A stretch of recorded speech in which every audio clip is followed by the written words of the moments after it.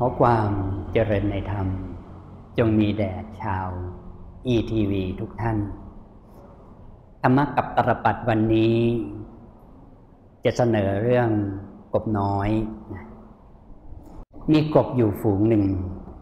เขาพยายามที่จะปีนแข่งขันกัน ปีนขึ้นไปยอดไม้สูง ขณะที่ปีนทั้งกลุ่มก็พยายามปีนปีนปีนพอปีนไปได้สักพักหนึ่งจะได้ยินเสียงตะโกนบอกว่า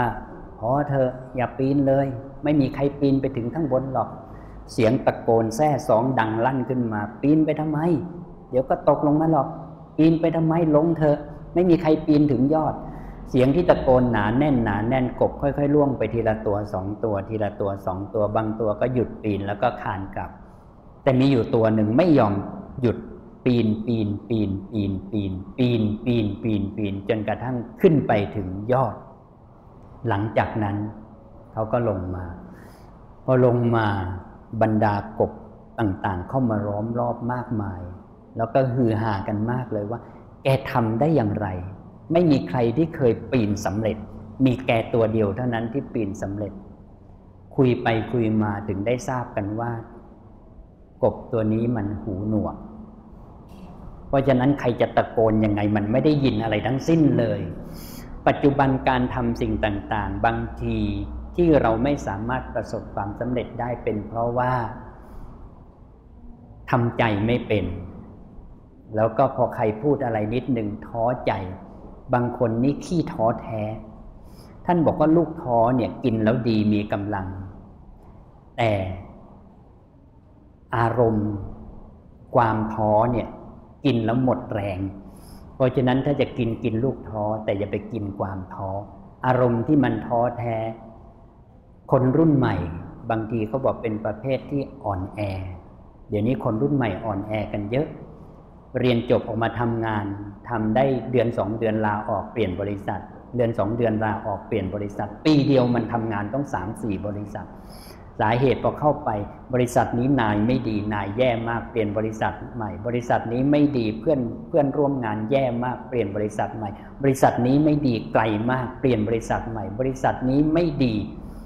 งานแย่มากทุกอย่างเลยเขาโยนความผิดไปให้กับคนอื่นเขาไม่ได้เห็นกลับมาว่า ไอ้ปัญหาที่เกิดมันเกิดจากตัวเอง เพราะฉะนั้นใครที่เคยท้อแท้ท้อถอยบางเรื่อง ท่านบอกว่า เวลาใครว่าอะไรถ้ารู้สึกจะเกิดท้อขึ้นมาก็ลองรู้จักที่จะเอาหูไปพาต้าเอาตาไป Center Point ไม่เกี่ยวนะ เอาหูไปนา เอาตาไปไร่ก็คือทำเป็นไม่ได้ยินซะบ้างทำเป็นไม่เห็นซะบ้าง เรื่องบางเรื่องต้องรู้จักที่จะหนวกให้เป็น รู้จักที่จะบอดให้เป็น ถ้ามันเกิดท้อแท้เท้าถอยขึ้นมาก็ตั้งสติให้ดีก่อนว่า ที่เราสามารถอยู่อย่างสุขสบายทุกวันนี้เป็นเพราะบรรพบุรุษที่ท่านเสียสละเลือดเนื้อชีวิต ท่านไม่ยอมท้อถอย พยายามที่จะต่อสู้แล้วก็รักษาแผ่นดินให้เราอยู่อย่างสุขสบาย แล้วถ้ามาเห็นเราบรรพบุรุษเกิดมาเห็นเราเป็นคนอ่อนแอแบบนี้ท่านจะรู้สึกสลดใจว่าอุตส่าห์รักษาบ้านเมืองให้มันอยู่สุขสบาย แล้วทำไมมันจึงเป็นคนอ่อนแอแบบนี้ทำไมจึงที่ท้อถอยแบบนี้ เพราะฉะนั้นสู้ๆหน่อย หลักวิธีการที่จะให้สู้ๆทุกครั้งถ้าท้อ ถ้าท้ออย่าถอย ถ้าถอยอย่าถอน ถ้าถอนอย่าทิ้งทำจิตนิ่งๆ แล้วก็สู้มันต่อไป รู้จักที่จะสู้แล้วก็รู้จักที่จะปล่อยวาง บางครั้งบางอารมณ์ ถ้าเราทำแบบนี้ได้ อยู่ อย่างไรก็ไม่มีปัญหาอะไรกับใคร แล้วก็สามารถที่จะประสบความสำเร็จในชีวิตได้ ก็ขอเป็นกำลังใจให้พวกเราสู้ๆกันทุกๆ คนกันละกันขออนุโมทนา แล้วก็ขอเจริญพร